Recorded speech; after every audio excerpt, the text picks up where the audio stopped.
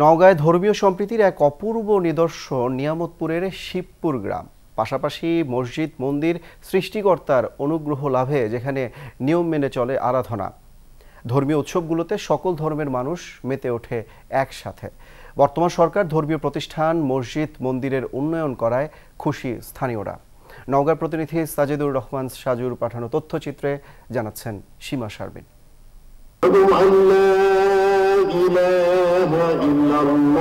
মসজিদ থেকে ভেসে আসছে আজানের মিষ্টি ধ্বনি। চলছে নামাজ আদায়। ক্ষণিক পরেই মন্দিরে বেজে উঠছে পবিত্র ঘণ্টা। নওগাঁর শিবপুরে পাশাপাশি মসজিদ ও মন্দির। মিলেমিশে চলে সৃষ্টিকর্তার অনুগ্রহ লাভের প্রার্থনা। এখানে মসজিদ এবং মন্দির দুটো পাশাপাশি নিজ নিজ ধর্ম সকলে সুন্দরভাবে পালন করতে পারে। কারোর সাথে কারও কোনো দ্বন্দ্ব নাই। আমাদের এখানে করে মন্দির আর মসজিদ থাকাতে আমাদের একবারে আমরা ভাই ভাই হিসাবে আমরা চলাফেরা করতেছি আমাদের কোনো সমস্যা দেখা যায় না। ধর্মীয় সম্প্রীতির এই দৃষ্টান্ত শত শত বছরের। যে কোনো ধর্মীয় উৎসবগুলোতে মেতে ওঠে সবাই। এবারও দুর্গাপূজায় সেই একই চিত্র। নামাজের সময় আমাদের বাদ্যযন্ত্র বন্ধ থাকে। আমাদের মায়ের আরতি হয়। তা দর্শন করে এতে কোনো সমস্যা হয় না। পঞ্চাশ ষাট বছর থেকে আমরা একসঙ্গে বসবাস করি আমাদের কোনো সাম্প্রদায়িক দাঙ্গামা সৃষ্টি নাই বা প্রতিহিংসামূলক কিছু নাই। অনেক আগে থেকেই পাশাপাশি মসজিদ ও মন্দির যুগ যুগ ধরে সম্প্রীতির শিক্ষা ছড়াচ্ছে ধর্মীয় এই দুই প্রতিষ্ঠান। এ যেন এক অভূতপূর্ব নিদর্শন।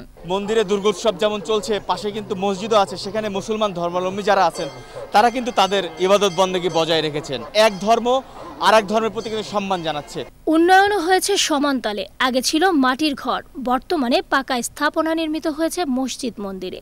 এই উন্নয়ন কর্মকাণ্ড সম্প্রীতির বন্ধন আরও শক্ত করেছে বলছেন স্থানীয় সংসদ সদস্য ও খাদ্যমন্ত্রী সাধন চন্দ্র মজুমদার। পূর্বের থেকে সম্প্রীতির যে বন্ধন এটা অটুট আছে, অটুট থাকবে। একে অপরের ধর্মের প্রতি যেমন সম্প্রীতি এবং ধর্মের প্রতি যে মমত্ববোধ সেটা এখানে বজায় আছে এবং ভবিষ্যতে থাকবে বলে আমি মনে করি। সকল ধর্মীয় অনুষ্ঠানগুলোতে সাধারণ মানুষের কাতারে যোগ দেন খাদ্যমন্ত্রী। আগামী দিনে এই সম্প্রীতির বন্ধন আরও দৃঢ় হবে এমন আশাবাদ ব্যক্ত করেন তিনি। সীমা শারমিন, বাংলাদেশ টেলিভিশন।